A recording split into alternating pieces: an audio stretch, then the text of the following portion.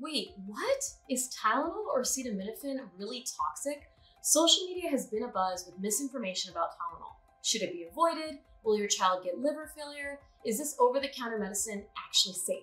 This video will talk about those trending topics and hopefully help set the record straight and ease any worries you may have.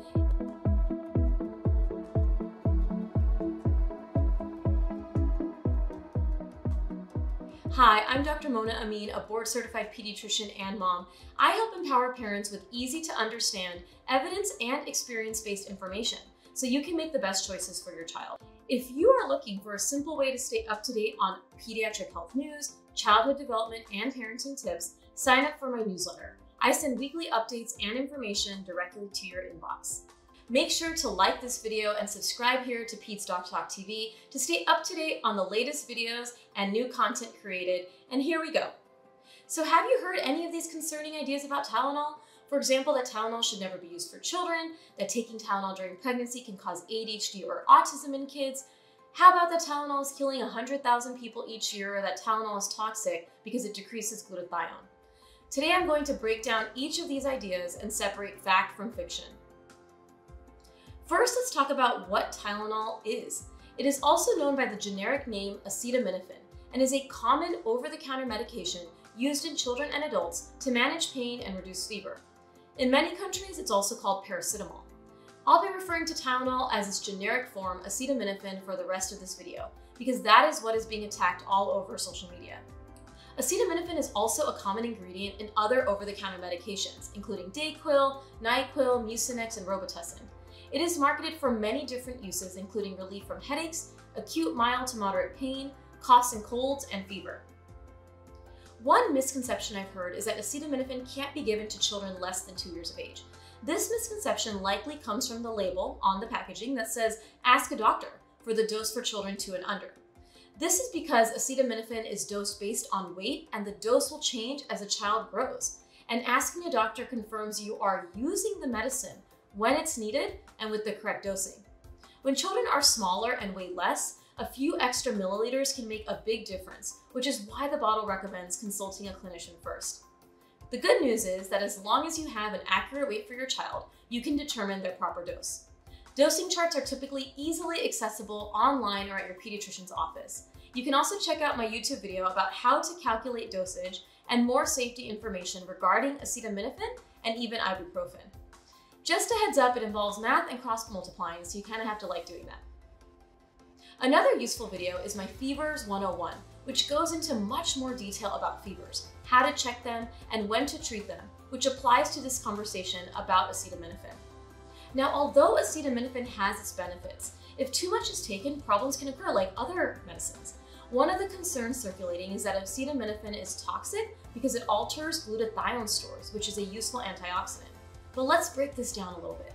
When someone takes acetaminophen, the liver produces small amounts of a potentially toxic compound called NAPQI as it breaks down the medication.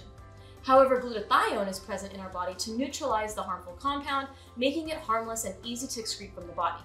However, at higher inappropriate doses of acetaminophen, glutathione is depleted quickly, thus allowing damage to the liver cells.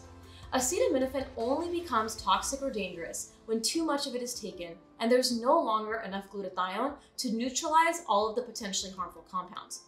Overuse is considered more than 4 grams a day in adults, although some clinicians recommend no more than 3 grams a day. For kids, less than 75 milligrams per kilo per day, or max 4,000 milligrams per day, with a max of 5 daily doses. I also err on the side of maxing out at no more than 3 grams a day, or 4 grams a day if directed by a clinician. If there's a history of liver damage, acetaminophen should not be given. Also, this video is important for me to make because for many kids and adults, other common OTC pain meds like ibuprofen, which is Motrin or Advil, are not always able to be given due to kidney failure or platelet issues. Also, when a child has gastritis or an upset stomach and needs a pain or fever reducing med, acetaminophen is preferred due to the way ibuprofen can irritate the stomach lining. So vilifying acetaminophen is not helpful when there is no risk when used correctly. Okay, now let's talk about another scary statistic that is circulating. A Facebook post went viral a few months ago quoting that acetaminophen causes 100,000 deaths per year. It understandably resulted in a lot of concern about the safety of this medicine. Fortunately, this statistic is not completely true. A study done by the CDC showed acetaminophen caused on average less than 1,000 deaths per year from 2011 to 2016.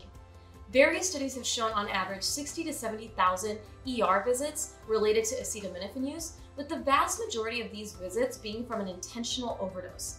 So yes, it is true that acetaminophen poisoning is the most common cause of acute liver failure in the Western world, but this is largely due to overdoses, both intentional and accidental. The reason the numbers are so high is that acetaminophen is so readily available. It is easy to buy and is the most common medication used to treat pain and fever in children and adults. As discussed earlier, it is also an ingredient in hundreds of other over-the-counter medications.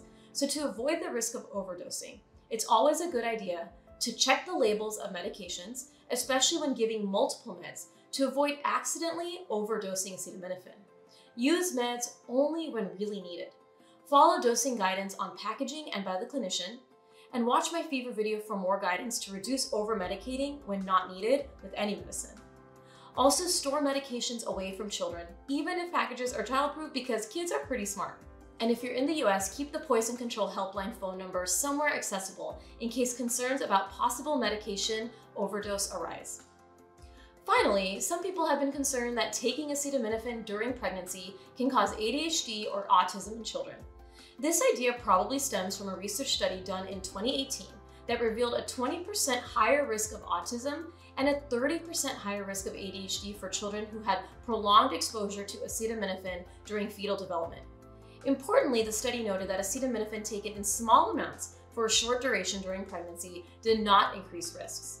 However, this study and others have not looked at environmental factors, maternal characteristics, paternal characteristics, or genetic factors, which can heighten the chances of autism or ADHD. This shows that correlation does not equal causation. Autism and ADHD are complex neurodevelopmental conditions that are not caused by one thing alone but instead are likely caused by a variety of genetic and environmental factors, genetic etiology being very high. These studies do not show clear evidence that proves a direct relationship between these disorders and acetaminophen use.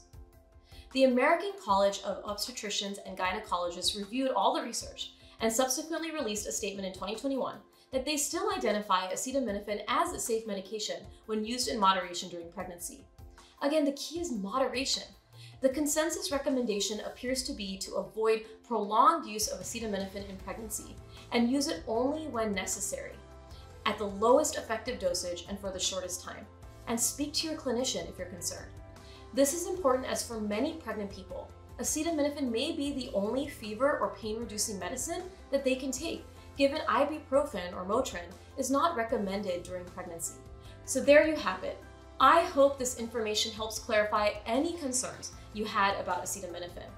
In summary, acetaminophen is safe to use in moderation. If your child is taking any other medicine besides acetaminophen, it's always a good idea to check labels and discuss any prescription or over-the-counter medications with your child's clinician if you're not sure to discuss if any interactions or overuse is a concern. And remember, medicate only if needed and always follow dosing recommendations to avoid overuse. Make sure you scroll through my channel for my Fever 101 video, dosing videos, and more. If you have further questions or concerns, please comment below. And if you find this information helpful, please like and share this video and subscribe to this channel to be the first to know about new videos published. Thanks for joining me today and see you next week for another video here on Peds Doc Talk TV.